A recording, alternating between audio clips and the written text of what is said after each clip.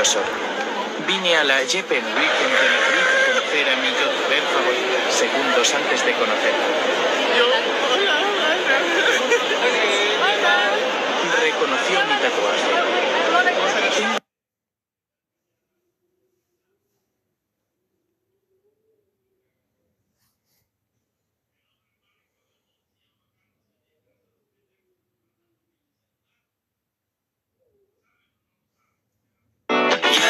the.